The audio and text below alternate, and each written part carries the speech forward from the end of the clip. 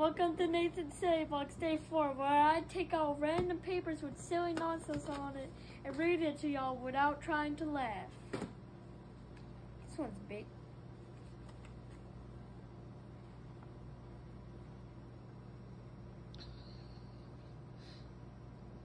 What is it?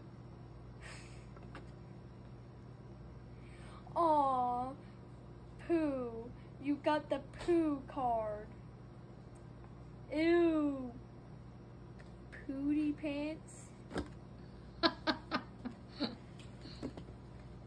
Let's see what's this for you? Wait, what? Pooty card. Pooh card. Did you write this? She did. She's smiling. You got the poo card. Ew. Ew, throw that away. Ew. Now I feel like everybody is going to write goofy papers in here now. that's what it's all about. Wait, where are you going? You didn't tell your audience good night. You Good night and like and subscribe. I'm going to throw this away now.